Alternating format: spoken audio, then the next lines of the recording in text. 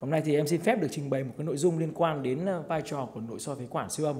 ờ, trong chuẩn đoán các bệnh lý ác tính lồng ngực. Thì như quý thầy cô cũng đã biết thì những bệnh lý về ung thư, ung thư phổi, ung thư lồng ngực là một trong nhóm bệnh lý phổ biến nhất hiện nay ờ, đang có xu hướng gia tăng và gây ra những hậu quả nặng nề. Và những yêu cầu cấp thiết trên lâm sàng hiện nay là thứ nhất là chuẩn đoán làm sao sớm những cái bệnh lý này với vai trò của những cái phương pháp như là chụp cắt lớp vi tính trong bài trình bày của Phương Anh thì đã nêu ra cái vấn đề thứ hai người ta cũng nêu ra đó là việc chúng ta ờ, phát triển những kỹ thuật thăm dò mới để vừa đảm bảo cái việc mà chúng ta có thể chuẩn đoán sớm, cũng như là hạn chế những cái xâm lấn tối thiểu cho bệnh nhân. Thì với những kỹ thuật nội soi phế quản thì chúng ta đã biết rằng là có cái ờ, lịch sử phát triển từ hơn 100 năm. Ờ, đầu tiên là với những kỹ thuật rất là thô sơ, với những nội soi ống cứng để điều trị. Thế nhưng từ năm 1980 với sự ra đời của nội soi ống mềm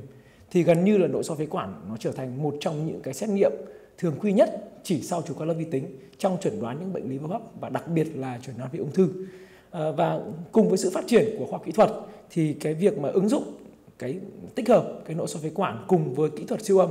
là cái kỹ thuật EBUS-TBNA tức là nội soi phế quản siêu âm sinh thiết thì đã mang lại những cái lợi ích trong chuẩn đoán và điều trị những cái bệnh lý ác tính lồng ngực. Thì hôm nay em xin phép được chia sẻ về những cái bằng chứng cũng như là vai trò của nội soi phế quản siêu âm trong chuẩn đoán những bệnh lý ác tính của lồng ngực thì những cái bệnh lý ác tính lồng ngực à, em đề cập đến hôm nay chủ yếu là những cái bệnh lý mà có gây tổn thương đến trung thất như là ung thư phổi hay là ung thư ở ngoài lồng ngực như là những ung thư cơ quan khác mà có di căn đến hai trung thất hay là những cái ung thư khác mà có biểu hiện tại trung thất như u lympho hay là sắc sarcoma chẳng hạn. Thì với cái vị trí uh, tiếp cận như thế này thì với những kỹ thuật thông thường mà trước đây chúng ta uh, áp dụng ấy, thì sẽ rất nhiều khó khăn trong việc mà chúng ta tiếp cận để lấy bệnh phẩm sinh thiết. Uh, do là những cái vị trí trong trung thất nó nằm ở vị trí sâu các cái tổn thương nó sẽ nằm cạnh những cái thần kinh được bao bọc bởi những cái cấu trúc như thần kinh như mạch máu lớn như trong hình vẽ. Và trước đây khi mà chưa có những cái kỹ thuật nội soi với quản siêu âm để tiến hành các cái phương pháp mà chuẩn đoán được chỉ đơn thuần là chuẩn đoán thôi chưa đảm bảo có điều trị được hay không thì chúng ta phải uh, sử dụng những cái phương pháp như là nội soi trung thất uh, nội soi lồng ngực hay thậm chí là sinh thiết mở để chuẩn đoán. Thì nội soi phế quản siêu âm thì là một cái kỹ thuật mới được uh, tích hợp cái đầu dò siêu âm vào cái đầu dò nội soi phế quản thì cho phép cái người bác sĩ vừa quan sát cái lòng khí phế quản cũng như là có thể đánh giá cái mật độ à, tổn thương dựa vào những cái đầu dò siêu âm tích hợp ở trong cái ngay cạnh cái đầu dò của nội soi. Từ đó có thể khảo sát cũng như là tiếp cận được các cái cấu trúc nằm sát thành khí phế quản như là u hay là hai trung thất. Thì hiện tại chúng ta có hai cái kỹ thuật chính về nội soi siêu âm đó là cái kỹ thuật à, đầu dò trung tâm radio e-burst và cái kỹ thuật thứ hai đó là được sử dụng đầu dò lồi à, như hình bên trái tức là kỹ thuật mà uh, converse probe ebus thì kỹ thuật mà nội soi phế quản ebus TBNA thì là một kỹ thuật mà sử dụng cái đầu dò lồi để làm hướng dẫn. Chúng ta sẽ tiến hành chọc hút sinh thiết xuyên thành khí phế quản. Thì nó là một cái phương pháp hiện tại được cho là ít xâm lấn nhất để tiếp cận những cái tổn thương à, và đưa ra chuẩn đoán trong những cái trường hợp mà bệnh nhân có u hay là hay trung thất. Trên hình ảnh thì là hai cái hình minh họa của hai kỹ thuật này thì bên cạnh hình bên trái đó là hình đầu dò lồi với cái đầu dò siêu âm nó được tích hợp vào cái phần mà uh, màu hồng tức là cái phần ở phía dưới. Ở phía trên chúng ta sẽ có những cái đường ờ, kênh hoạt động để đưa kim và để sinh thiết. Bên cạnh bên bên phải thì là cái hình dò radio EBUS là đầu dò trung tâm. Thì đầu dò trung tâm này nó sẽ quay quanh cái ờ, cái sợi và cái đầu dò siêu âm và cho phép à, tích hợp để à, phát hiện những cái tổn thương sở sinh thiết những tổn thương phổi ngoại vi. Ờ, mục đích của kỹ thuật EBUS-TBNA này cái mục đích cuối cùng đó là gì? Chúng ta có thể tiếp cận đánh giá được những cái tổn thương mà nằm sát thành khí phế quản. Có thể là u có thể là hạch có thể là những cái bệnh lý ác tính bệnh lý ung thư hay thậm chí những bệnh lý lành tính. Từ đó chúng ta đánh giá những cái tổn thương à, với những cái đặc điểm. Rồi và cuối cùng là mục đích quan trọng nhất đó là tiến hành sinh thiết lấy bệnh phẩm dưới sự hướng dẫn trực tiếp của cái hình ảnh nội soi siêu âm à, trong quá trình mà chúng ta sinh thiết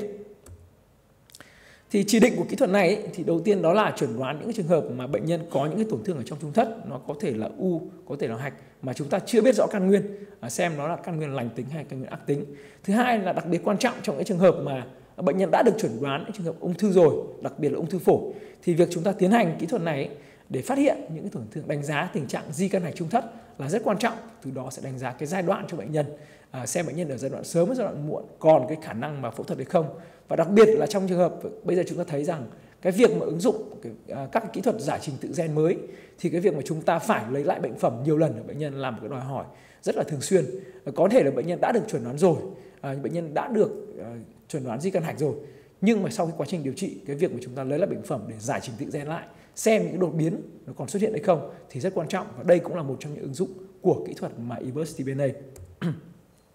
nhìn chung thì các cái chống chỉ định thì nó cũng chỉ là những cái chống chỉ định như thông thường, như là của nội soi phế quản thôi. Tức là những bệnh nhân mà có à, bệnh suy hấp mà chưa kiểm soát được, là những cái bệnh lý về hô hấp tim mạch mà chưa kiểm soát được trong cái quá à, trình mà nội soi. Rồi bệnh nhân có bệnh lý về thần kinh, có rối loạn đông cầm máu. Những bệnh nhân mà có tình trạng dị ứng nặng, thuốc gây mê, gây tê và gây sốc, thì đấy là những cái chống chỉ định của kỹ thuật này. Về ưu điểm thì thứ nhất thì rõ ràng là so với những phương pháp khác, thì cái phương pháp này nó là một cái phương pháp rất ít xâm lấn à, bệnh nhân không cần phải đọc khí quản không cần phải mở ngực không cần phải rạch da à, không cần phải đặt dẫn lưu sau khi mà làm à, chẩn đoán. Chỉ cần là bệnh nhân tiến hành có thể là tiền mê hoặc là gây mê tĩnh mạch và thực hiện nội soi phế quản ống mềm như những trường hợp mà chúng ta nội soi phế quản ống mềm bình thường thôi. Tuy nhiên nó lại tiếp cận được rất nhiều cái vị trí hạch trong trung thất tương tự như là với nội soi trung thất. Những vị trí hạch phổ biến mà chúng ta thăm dò để mà chẩn đoán xem có ung thư hay không và ung thư đã di căn hay chưa như là hạch à, cạnh khí quản, hạch dưới carina và những cái vị trí hạch thậm chí ở cả hạch rốn phổi. Ừ, nói về các cái nghiên cứu của kỹ thuật này thì kỹ thuật này được ra đời từ năm 2003, tức là cách đây đã gần 20 năm rồi. Thì đến những năm 2008 2009 thì người ta bắt đầu tiến hành những cái phân tích gộp rất lớn về cái, vai trò và giá trị của EBUS-TBNA, tức là kỹ thuật sinh thiết nội soi siêu âm Ờ, trong chẩn đoán cái giai đoạn của ung thư ở những cái bệnh nhân mà đã được chẩn đoán ung thư rồi thì những cái kỹ, những cái phân tích gộp thì cho thấy rằng là cái độ nhạy của kỹ thuật này ấy, nó lên tới 93% trong khi độ đặc hiệu đạt tới 100% và cái biến chứng nó chỉ gặp khoảng 2 trên khoảng hơn 1.300 bệnh nhân thôi tính ra là khoảng 0,15% thì cái phân tích gộp này đến từ một cái à, phân tích của một cái nhóm tác giả đến từ Trung Quốc được tiến hành công bố vào năm 2009 Tương tự như vậy thì cũng trong 2009 thì trên trên tạp chí về ung thư phổi thì cũng có một cái tâm phân tích gộp tương tự của những cái nhà khoa học người Anh. Người ta tiến hành phân tích những cái cái bài báo những cái nghiên cứu từ 2002 đến 2007. Thì ở đây chúng ta cũng nhận thấy một cái kết quả tương tự là cái độ đặc hiệu của kỹ thuật này rất cao, lên tới 100% khi mà tổng hợp lại. Cái độ ờ, nhạy thì nó lên tới khoảng gần 90%, cụ thể ở cái nghiên cứu này là 88%. khi mà tiến hành so sánh cái kỹ thuật này một cái câu hỏi rất là rất là nhiều bác sĩ đặt ra thì vậy thì khi mà chúng ta tiến hành cái kỹ thuật này so với những cái kỹ thuật khác cổ điển hơn à, như là sinh thiết dưới CT này, nội soi phế quản thông thường, sinh thiết xuyên vách này, hay là chọc uh, sinh thiết xuyên thành phế quản mà không có sự hướng dẫn của siêu âm, hay là những kỹ thuật mà uh, thậm chí là nội soi trung thất thì chúng ta sẽ có cái điểm khác biệt gì? Thì trong nghiên cứu này thì người ta cũng đã có một cái nghiên cứu uh, ngẫu nhiên uh, đối xứng để so sánh cái kỹ thuật này với những kỹ thuật cổ điển. Thì trong nghiên cứu này thì các chị cũng thấy là gì? à, người sẽ chia hai nhóm bệnh nhân một nhóm sẽ tiến hành các kỹ thuật thông thường mà không dùng eBurst TMNA và thứ hai là một nhóm dùng eBurst TMNA để chuẩn đoán đúng không ạ? Thì ở hai cái nhóm nghiên cứu này thì chúng thấy rằng là về cái kết quả chuẩn đoán thì cái kỹ thuật eBurst TMNA nó cho cái kết quả tương tự như những cái kỹ thuật thông thường à, về cả những cái tổn thương lành tính rồi những cái tổn thương ung thư di quan ngoài lồng ngực cũng phát triển à, phát triển được và cả những trường hợp ung thư phổi ở tất cả các giai đoạn khác nhau với cái tỷ lệ tương đương với những kỹ thuật cổ điển thông thường Tuy nhiên có một cái điểm đáng lưu ý ở đây là gì? Khi mà bệnh nhân ở cái nhóm mà thực hiện kỹ thuật eBurst TBNA này ấy, thì thứ nhất chúng thấy rằng là cái số lần thực hiện can thiệp ở những cái bệnh nhân này nó sẽ thấp hơn so với những cái bệnh nhân tiến hành những cái thủ thuật thông thường. Ví dụ ở đây khi mà uh, có 66 bệnh nhân mà được thực hiện kỹ thuật eBurst TBNA ấy, thì sau khi đó đấy, chỉ có khoảng 33 bệnh nhân là phải chụp PET scan à, so với cái nhóm là 48 bệnh nhân thực hiện cái kỹ thuật thông thường phải chụp PET scan. Tiếp đến sau đó thì chúng ta thấy rằng là gì? Trong cái nhóm mà thực hiện những cái thủ thuật can thiệp thông thường ấy, thì rất nhiều bệnh nhân lên tới hơn một nửa bệnh nhân là phải thực hiện những kỹ thuật tiếp theo sau khi mà tiến hành sinh thiết xoay thành ngực rồi sau khi tiến hành nội soi rồi hay thậm chí sau khi tiến hành nội soi trung thất rồi thì vẫn phải tiến hành lại những cái can thiệp khác à, như là gì ạ sinh thiết xuyên ngực hay thậm chí là phẫu thuật mở ngực. Trong khi đó cái tỷ lệ mà phải tiến hành những cái thủ thuật tiếp theo thủ thuật thêm ở cái bệnh nhân mà TBS, EBUS, TBNA thì nhỏ hơn đáng kể so với những cái, à, cái nhóm mà thực hiện những cái thủ thuật cổ điển thông thường cái một cái điểm nữa rất quan trọng, khi mà thực hiện kỹ thuật này thì người ta nhận thấy rằng cái nhóm bệnh nhân mà được sử dụng kỹ thuật eBurst TBNA để chẩn đoán, thì cái thời gian mà bệnh nhân thiết lập được chẩn đoán và đưa ra quyết định điều trị, nó sẽ sớm hơn một cách đáng kể so với nhóm bệnh nhân mà thực hiện những kỹ thuật cổ điển. Cụ thể ở đây là 14 ngày ở cái nhóm bệnh nhân mà được sử dụng eBurst TBNA so với cái thời gian là 29 ngày, tức là gần một tháng, của cái nhóm bệnh nhân mà phải thực hiện những can thiệp thông thường thì giống như ở trên cái kết quả người ta mô tả bệnh nhân mà thực hiện những cái can thiệp cổ điển thì sẽ phải tiến hành thêm những cái can thiệp khác như là à, sinh thiết lại rồi CT có thể lần 2 lần 3 hay là nội soi trung thất, hay thậm chí là phẫu thuật mở ngực để mà có thể chuẩn đoán cuối cùng, từ đó mới có thể đưa ra được cái phác đồ điều trị cho bệnh nhân. Thì rõ ràng là cái e TMA thì nó đã góp phần rút ngắn được cái thời gian điều trị cho bệnh nhân, giúp cho bệnh nhân có cái cơ hội được à, điều trị sớm hơn so với những cái nhóm mà à, thực hiện những cái thủ thuật cổ điển.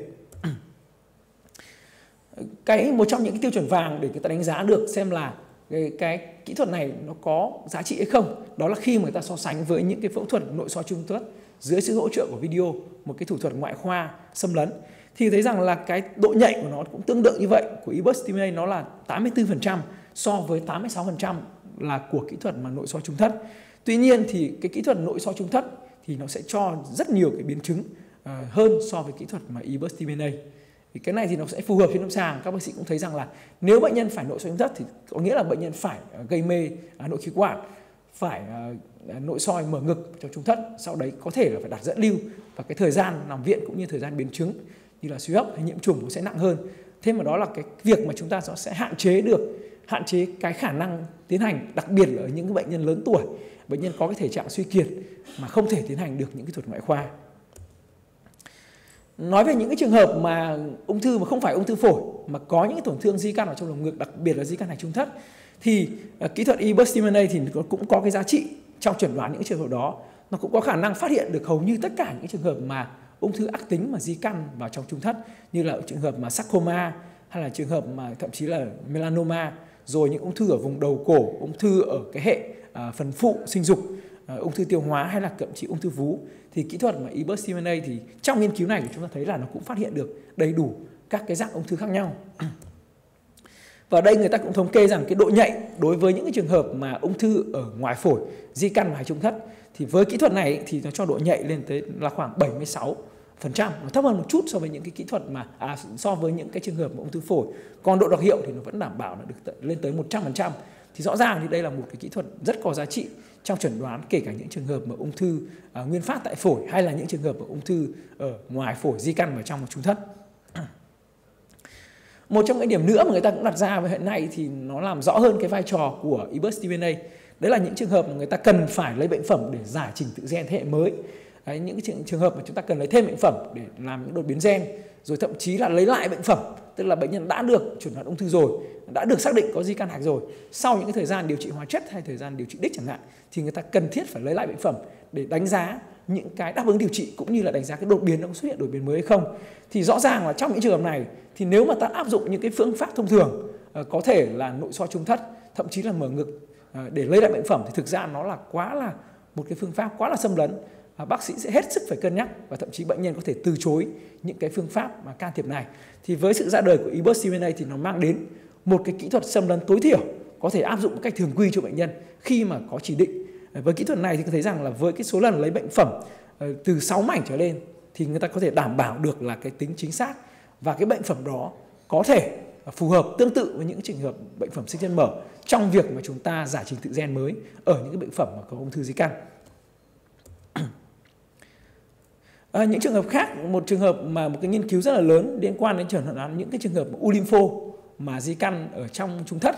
thì thấy rằng là trường hợp này ở trong nghiên cứu này chúng thấy rằng là ở tất cả những cái nhóm bệnh nhân từ những cái bệnh nhân mà mới phát hiện u lympho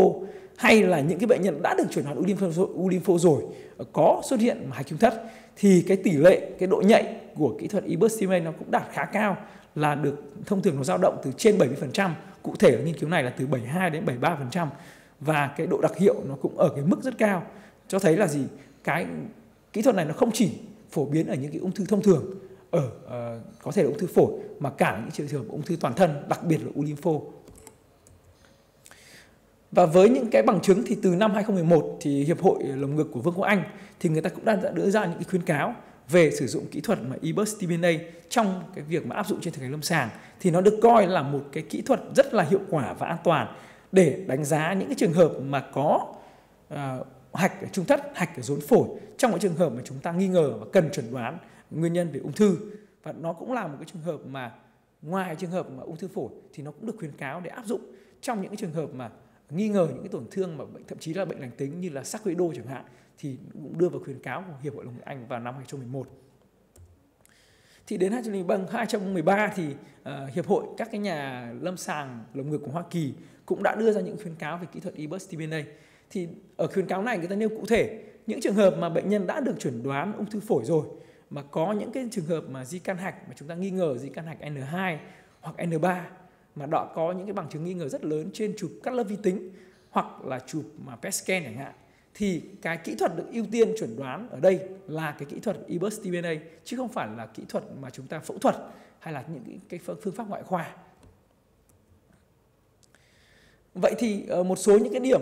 tuy nó là một số những, là những cái kỹ thuật rất là hiệu quả để chẩn đoán, thì nó cũng có những cái nhược điểm nhất định, vì nó không phải là một cái kỹ thuật lấy bệnh phẩm trực tiếp giống như là những cái can thiệp ngoại khoa thì kỹ thuật này nó cũng có một số cái nhược điểm mà nó sẽ ảnh hưởng đến kết quả của chúng ta khi mà lấy bệnh phẩm. Đầu tiên là cái vị trí mà sinh thiết đúng không ạ? Thì các nghiên cứu cũng chỉ ra rằng những cái vị trí hạch mà cho cái một số cái vị trí mà cho cái tỷ lệ chẩn đoán thấp hơn so với vị trí còn lại. Cụ thể ví dụ như hạch ở cạnh khí quản chẳng hạn thì cái tỷ lệ chẩn đoán nó sẽ thấp hơn so với những trường hợp mà hạch ở rốn phổi hay là hạch ở dưới carina. Cái thứ hai một cái điều rất quan trọng nữa là cái kích thước của hạch, kích thước của tổn thương thì nó cũng liên quan đến cái giá trị cũng như là cái tính chính xác khi mà chúng ta làm thủ thuật. Thì đối với những cái tổn thương mà dưới 5 mm, dưới 5 mm tức là hạch rất nhỏ đúng không ạ? Thì cái giá trị chuẩn đoán nó thấp hơn đáng kể, chỉ còn 64,7% thôi. So với những cái trường hợp mà hạch lớn hạch trên 5 mm thì nó lên đến 92%.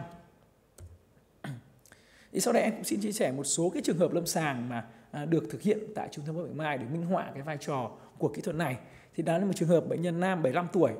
một cái lứa tuổi có thể coi là lớn tuổi rồi ạ. À, vào viện vì những lý do là khó thở, khám toàn thân thì không thấy hạch ngoại vi. Thì trên lâm sàng chúng thấy rằng là trên các lớp vi tính thì bệnh nhân có rất nhiều hạch ờ, trung thất dính vào những cái mạch máu lớn, à, thậm chí hạch ở cả vùng rốn phổi nữa. Thì trong trường hợp này trên hình ảnh trong các lớp vi tính các chị cũng thể thấy là ờ, các cái tổn thương trong trung thất ở đây thì nó dính chặt và sát vào những mạch máu lớn đặc biệt là cái phần cung động mạch chủ đúng không ạ thì nếu mà chúng ta tiếp cận bằng những cái phương pháp thông thường thì nó sẽ rất là khó khăn và cái điểm thứ hai nữa là trên cái nhu mô phổi của bệnh nhân nó không có những cái tổn thương khác để mà chúng ta có thể sinh thiết được bằng những cái phương pháp thông thường. Thì bệnh nhân là chẩn đoán là một trường hợp mà theo dõi ung thư phổi mà di căn hạch trung thất, với hạch nó đã di căn ở phòng trung thất và rốn phổi. Ở trường hợp này thì các cái thăm dò chẩn đoán thì nó sẽ đặt ra, nó phải đảm bảo được các mục tiêu. Thứ nhất là chẩn đoán là xác định bệnh nhân có ung thư hay không, đúng không ạ? Để là bằng chứng cho bệnh nhân. Thứ hai là chẩn đoán cái tình trạng mà di căn hạch trung thất, xem là bệnh nhân ở cái giai đoạn nào rồi. Và cái thứ ba là khi mà chúng ta lựa chọn cái thăm dò thì nó phải phù hợp với cái tình trạng của bệnh nhân, xem bệnh nhân có thích hợp với được cái thăm dò đấy hay không thì ở đây thì chúng ta đặt ra ba cái phương pháp thăm dò chính thứ nhất là cái phương pháp mà nội soi lồng ngực sinh thiết thì cái ưu điểm của nó là phương pháp này chắc chắn là cho kết quả chính xác nhất rồi chúng ta lấy trực tiếp được hạch ra, quan sát, thậm chí làm sinh thiết tức thời, đúng không ạ Tuy nhiên ở cái bệnh nhân này của của chúng ta thì thấy rằng là bệnh nhân thì ở lứa tuổi lớn, đúng không ạ? Không khả thi được. Bệnh nhân có rất nhiều cái nguy cơ tai biến sau khi mà làm thủ thuật như là nhiễm trùng, à, viêm phổi bệnh viện thậm chí là tắc mạch do phải nằm lâu. Thứ hai là chúng ta tiến hành sinh thiết xuyên thành ngực thì nó là một cái phương pháp cũng rất là phổ biến. Tuy nhiên cụ thể ở trường hợp này chúng thấy rằng là cái có những cái tai biến như là nguy cơ tràn khí này, à, thậm chí là nguy, nguy cơ ho máu xét đánh và đặc biệt ở đây là bệnh nhân có nguy cơ chọc vào những mạch máu lớn do cái vị trí của khối u nó nằm sát vào cái vị trí của à, động mạch chủ và cái phương pháp thứ ba đó là cái phương pháp được lựa chọn, đấy là phương pháp mà nội soi phế quản siêu âm. Thì nó sẽ cho cái tính chính xác à, với những cái bằng chứng mà chúng ta đã được à, trao đổi vừa rồi, cũng như là hạn chế được tối đa những cái tai biến và vừa cho phép được chuẩn đoán chính xác ung thư cũng như là cái tình trạng di căn hạch của bệnh nhân này. Thì ờ, cái cái phương pháp này thì đầu tiên thì chúng ta phải tiến hành nội soi thông thường, đánh giá cái tổn thương trong lòng khí phế quản. Thì bệnh nhân này khi mà tiến hành tổn thương, đánh giá nội soi thông thường thì chúng ta thấy là gì? À, trong lòng khí phế quản thì nó sẽ không có những tổn thương xâm lấn hay tổn thương u mà chỉ có những tổn thương mà đè ép từ ngoài vào. Vì vậy nếu mà chúng ta sử dụng nội soi thông thường thì chúng ta sẽ không thể lấy được bệnh phẩm cũng như là tiến hành sinh thiết. À, và đây thì khi mà được áp dụng cái phương pháp mà siêu âm thì chúng ta đã xác định được cái vị trí của cái tổn thương hạch ở trong trung thất. Thì trên hình ảnh siêu âm thì sẽ thấy được là cái vùng cái tổ chức hạch nó nằm sát ngay cạnh khí phế quản và chúng ta có thể quan sát được rất rõ dưới cái hình ảnh mà siêu âm nội soi tương tự như là siêu âm thông thường đúng không ạ? Và qua quá trình siêu âm thì đánh giá được là bệnh nhân có một cái nhóm hạch trung thất rất to ở hạch nhóm 4 ở bên phải. Ờ, những cái bước ờ, cơ bản để mà tiến hành nội soi can thiệp đó là đầu tiên là chúng ta sẽ đo cái kích thước của tổn thương ở trên cái màn hình nội soi siêu âm. Ờ, từ đó dự đoán được cái chiều dài mà kim trọng khi mà tiến hành sinh thiết. Như cái, uh, quý vị đồng nghiệp có thể thấy ở đây là chúng ta có thể đo được cái kích thước của tổn thương đúng không ạ? Từ cái vị trí mà theo cái hướng mà kim trọng để mà dự đoán được cái, cái chiều dài kim. Và khi mà tiến hành tổn thương thì chúng ta sẽ đưa một cái kim chuyên dụng kim sinh thiết nó hút áp lực âm à, để tiến hành cái sinh thiết tổn thương vào trong à, cái tổ vị trí của tổn thương ở trung thất. Và một cái điều đặc biệt nhất ở đây đó là chúng ta có thể quan sát được trực tiếp cái thì mà đưa kim vào cũng như là nhìn được à, trực tiếp quá trình mà kim đi vào trong tổn thương à, trên hành hình ảnh hình ảnh của siêu âm. Và khi mà chúng ta tiến hành sinh thiết ấy, thì chúng ta sẽ có thể quan sát được trực tiếp, tức là quan sát đồng thì với cả cái quá trình sinh thiết. Đó là cái quá trình kim nó di chuyển ở trong tổn thương, giống như là cái hình minh họa ở trên ờ, video ở đây. Thì nó sẽ đảm bảo được cái việc mà, thứ nhất là cái tính chính xác, sẽ đảm bảo được luôn luôn là cái kim sinh thiết nó nằm trong tổn thương và lấy được bệnh phẩm của chính xác. Thứ hai là tránh trường hợp mà sẽ, kim nó sẽ đi vào những cái tổ chức khác mà có nguy cơ mà gây ra biến chứng cho bệnh nhân. Ờ, sau khi mà lấy bệnh phẩm ra thì ờ, bệnh nhân này thì có cái được chuẩn đoán là kết quả là ung thư biểu mô tuyến như vậy là chúng ta đã đạt được tất cả những cái mục đích mà yêu cầu ờ, của một cái thăm dò chuẩn đoán được đặt ra ở bệnh nhân này rồi và sau khi mà kiểm tra lại thì cái hình ảnh nội soi ấy, sau khi mà sinh thiết xong thì nó gần như không có một cái biến chứng gì cả chỉ có một cái chấm rất nhỏ là cái đường vào kim chọc thôi Đấy. thậm chí là cái biến chứng chảy máu của bệnh nhân ở trường hợp những trường hợp như này nó còn ít hơn so với những cái miền trường hợp mà sinh thiết thông thường những cái tổn thương trong lòng khí phế quản. À, một cái đề tài cũng đã được thực hiện tại trung tâm bệnh viện Mai thì nghiên cứu cái giá trị của kỹ thuật này trong chuẩn đoán những trường hợp ung thư phổi thì được tiến hành trên 27 bệnh nhân. À, thì cái số lượng bệnh nhân ở đây thì cho thấy rằng là cái tỷ lệ chủ yếu là cái kích thước hạch nó từ à, 1 đến 2 cm có trường hợp hạch to lên tới 3 cm hai cái nhóm hạch phổ biến nhất được tiến hành sinh thiết trong cái nghiên cứu ở bệnh Mai đó là nhóm hạch các khí quản thấp bên phải và cái nhóm hạch ở dưới carina và cái kết quả nghiên cứu chúng thấy rằng là cái độ độ nhạy của nghiên cứu này của những trường hợp kỹ thuật này lên tới 92,6% trong cái việc sử dụng cái kỹ thuật e-burst DNA để chuẩn đoán những trường hợp mà ung thư phổi mà có tổn thương mà trung thất. Các cái trường hợp ung thư phổ biến nhất thì nó vẫn là những trường hợp như ung thư biểu mô tuyến, ờ, ung thư biểu mô vẩy, ờ, ung thư biểu mô tế bào ờ, không nhỏ và ung thư tế bào nhỏ. Và sau đây thì em xin đưa ra một số cái kết luận về cái kỹ thuật này. Thì đây là một kỹ thuật mới, đúng không ạ? Nói là mới vì ở Việt Nam thôi, còn nó được áp dụng và được đưa vào những khuyến cáo trên thế giới từ những năm 2013 rồi. Thì nó là một kỹ thuật mà có giá trị cao trong chuẩn đoán những cái căn nguyên à, tổn thương ở trung thất. Và lần đầu tiên được áp dụng tại Trung tâm Bệnh Mai từ năm 2017. Thì qua các bằng chứng khoa học thì cũng thấy rằng là đây là một kỹ thuật an toàn, à, có giá trị chuẩn đoán cao và chính xác và nó có thể thay thế được các cái phương pháp xâm lấn trong những trường hợp mà để chuẩn đoán ờ, căn nguyên u hay trùng thất. Và vì những lý do đó thì cái kỹ thuật này thì cần được mà tiến hành và ứng dụng một cách rộng rãi hơn. Em xin cảm ơn sự chú ý lắng nghe của toàn thể quý vị đại biểu